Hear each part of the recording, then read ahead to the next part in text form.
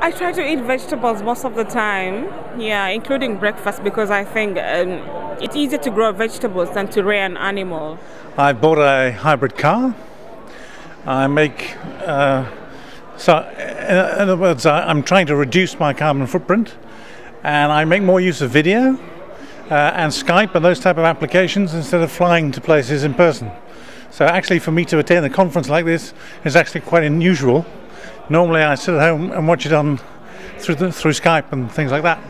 To reduce my what? Carbon footprint. I do nothing.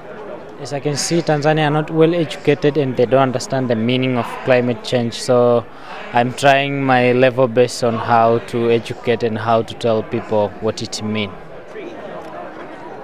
Well, no, I do something.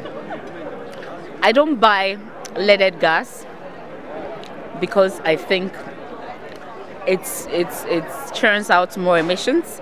So I look out for unleaded fuel. Especially in Bangladesh, uh, we are trying to use more. Um, we use natural gas uh, instead of oil, uh, and we are also trying to sort of uh, have students, people, young people use the bicycles more. I take the public transport, for example, or I bike and I don't really recommend a lot of my friends, you know, driving their own, using their own vehicle to go to work, for example. Yeah. To be quite honest, not too much.